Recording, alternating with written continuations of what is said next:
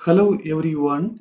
In this address, we have to find the member forces GH, GC and CD.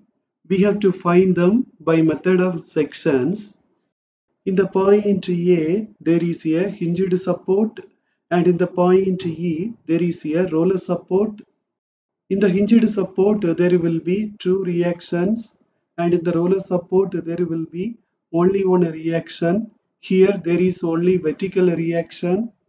Let us find VA. To find that, I am going to take moment about E.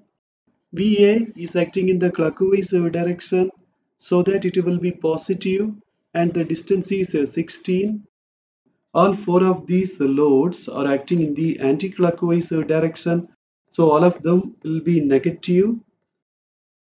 For this load the distance is 16. For this load the distance is uh, 12. For this load it is 8 and for this load it is uh, 4. For VA we will get 65 kilonewton. Now let us apply the rule sigma V is equal to 0. VA and VE are acting upwards so both of them are positive. These four loads are acting downwards so they will be negative. When we add these four we will get 110 for VE, we will get 45 kilonewton. Now let us apply the rule sigma h is equal to 0. In this truss, there is no horizontal load, so HA will be 0. We need to find the member forces GH, CG and CD. To find these three, we have to make a section like this. So all three are cut. We can take either the left side or the right side. Let us take the right side. It will be easy for us. First, I am going to find FGH.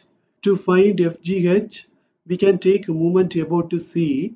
When we take moment about C, we should not consider FCG and FCD.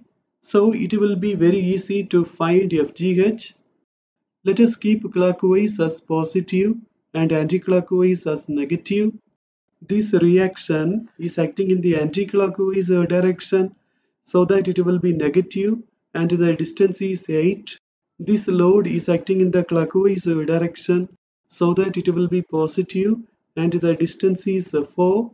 FGH is acting in the anticlockwise direction so that it will be negative and the distance is uh, 4. For FGH, we will get a negative value that means it is compressive. Now I am going to find FCD. To find FCD, we can take a moment about G. When we take a moment about G, we should not consider FGH, FCG and 40. The remaining forces are FCD and 45.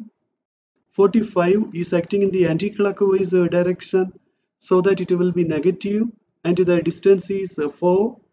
FCD is acting in the clockwise uh, direction so that it will be positive and the distance is 4.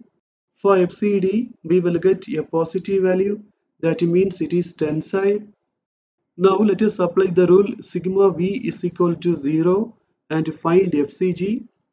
FCG is inclined, we have to resolve it in the vertical direction.